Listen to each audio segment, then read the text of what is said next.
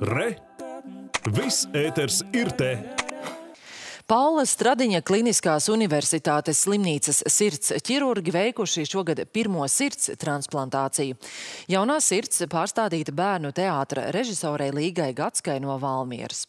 Redzot, kā donora orgāni tiešām ir dzīvības cenā, Līgas draugi un ģimenes locekļi izdarījuši kādu būtisku lietu. E-veselības sistēmā atzīmējuši savu gribu par orgānu izmantošanu pēc nāves. Plašāk Aijas Kīnsas reportāžā. Šī ir otrā vārda diena pēc kārtas, ko Līga pavada slimnīcā, taču šoreiz sajūtas nevar pat salīdzināt ar tām, ko viņa jūta pērn. Visi man dzīve sagriezās kājām gaisā pagājušā gada 12. jūnijā, kad es piedzīvoju uh, strauju, negaidītu infarktu, klīnisko nāvi. Um, kā rezultātā es gūju ļoti liels sirds bojājums. Līga ir skolotāja un režisore. Viņa Valmierā vada teātras sprīdītis jaunāko un vidējo grupu. Teātris vienmēr ļauj piedzīvot brīnumu sajūtu, bet to nevar salīdzināt ar kādu citu brīnumu. Kā mirstošs cilvēks var dot iespēju kādam citam smagi slimam.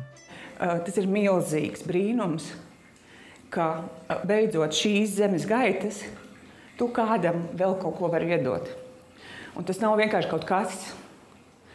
Tā ir dzīvība, tā ir cerība, tā ir iespēja dzīvot, piedzīvot.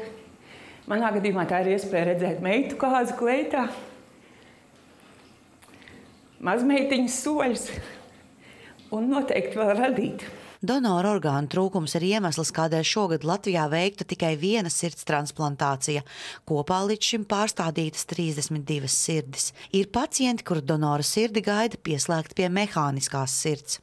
Mums tāpat rindā jau vairākus gadus stāv relatīvi jauni cilvēki, kuriem uh, ir implantēta šīs ierīces. Viņiem, protams, ka šī cirkulācija ir saglabāta un laba, bet uh, ir dažādas citas problēmas.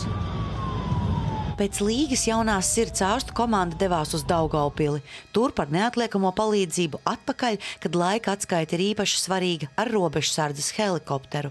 Bet pēdējos kilometrus līdz stradiņiem sirdi veda atsaucīga ceļu policijas ekipāža, jo katrai minūtei bija nozīme. Rijos naktī, ja pacienta operācija apmēram mēs beidzām, pacientu pārvedām uz reanimācijas nodaļu. Nākamā rītā 11. jau varējām ar pacientu paķiķināt, papļāpāt. Viņi bija ekstubēti. Nu, tā ir fantastiska sajūta. Ehokardiogrāfija apliecina, ka jaunā sirds strādā labi. Šī mums ir jaunā sirsniņa, kura strādā brīnišķīgi. Ir abi kambari. Šeit ir kreisais kambars, šī ir kreisā sirds puse un šī ir labā sirds puse. Šeit mēs redzam ķirurgu šuvi, kas ir labi redzama. Ja runājam par šo donoru orgānu trūkumu, tad Latvija nolēmusi ir iestāties tādā starptautiskā organizācijā, Skandi transplantā kas nozīmē, ka mums būs akūtās situācijās, ka pacients vienkārši nespēja gaidīt. Mums varbūt būs iespēja dabūt no Skandināvijas valstīm sirsniņu, no Igaunijas tuvākās, un tāpat tās arī Zviedrija, Somija, Norvēģija. Nu jā, tā mēs, tā mēs risinām šīs lietas. Uzzinot, ka Līgai veikta transplantācija un viņa saņēmusi donora sirdi, vairāk viņas draugi veikuši atzīmi e-veselībā, paužot savu gribu par orgānu ziedošanu nāves brīdī. Šis mans stāsts ir iedvesmojis manus draugus, un es zinu, ka daļa no draugiem to ir izdarījuši, un nesen to izdarīja arī mans dēls. Līga saka, kaut slimnīcā šī ir brīnišķīga vārda diena, un sajūtas nav salīdzināmas ar tām, kas bija pirms gada.